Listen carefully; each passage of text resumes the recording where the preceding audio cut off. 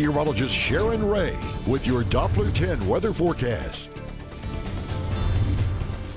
Good afternoon, and we are looking at uh, more rain tonight, and this uh, rain has been very beneficial. We picked up over an inch at the airport in Corpus Christi last night and since midnight 800s. So that has helped us catch up on our rain totals here. For the month, we're actually above average now for the month of May, but for the year, the deficit is just under three inches. I think we're going to make up some of that again tonight, and later this week, more rain is in the forecast.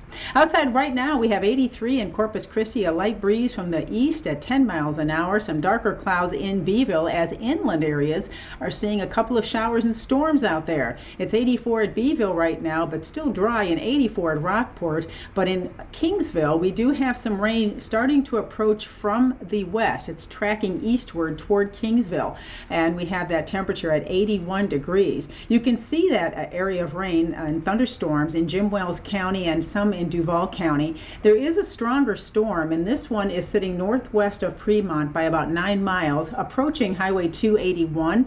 And with the core of the storm, there's a strong updraft that is producing some larger hail. And hail uh, in the past uh, 15 minutes, I did see this go up to a penny size hail. Now it's down to just less than a half of an inch. So some small hail in that storm, which is uh, just to the west of 281 and northwest of Premont. That is drifting to the east, and uh, that rain uh, starting to make its way into Kleberg County. Also, another thunderstorm heading into Alice right now with possible heavy downpours for Alice within the next half hour.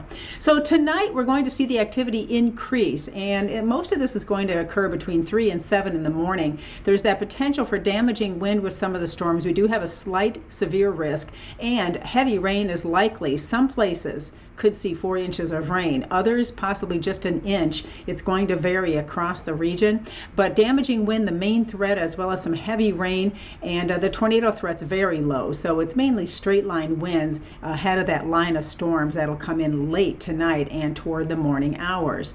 So as we look at what's happening, basically we still have an upper level low spinning, and that is generating these uh, little waves that come through occasionally. Right now we do have a few storms in our inland areas, but those those late tonight will increase ahead of our cold front, and we will see these moving in from the northwest. Forecast models differ on the exact positioning of the heaviest rain, but nevertheless, I think storms are likely for all of the coastal bend, but rainfall amounts will vary. You can see future tracker by midnight, perhaps a few thunderstorms developing, most of those from 3 to about 7 in the morning. Notice the dark red colors and even some purple showing up on this model. If that happens, that would be some very heavy rainfall around 5 5 to 6 in the morning.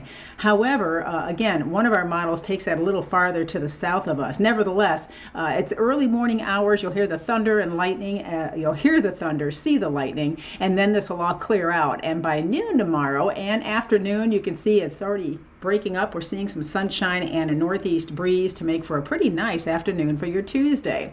Now, this is another one of our forecast models. You see the difference in rainfall amounts depending on where that the strongest storms travel.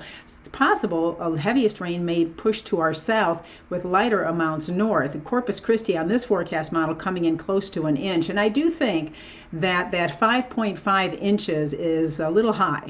I'm thinking more one to two inches looks most likely for most areas coming in at least an inch of rain. So storms are likely late tonight with some with heavy rain. Temperatures will drop thanks to the rain cooled air. And then tomorrow, pretty nice day. The clouds break up.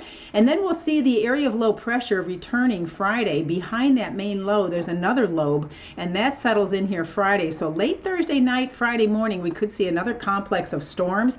And then on and off storm chances this upcoming weekend. It looks like the chances will decrease somewhat as we get into Saturday and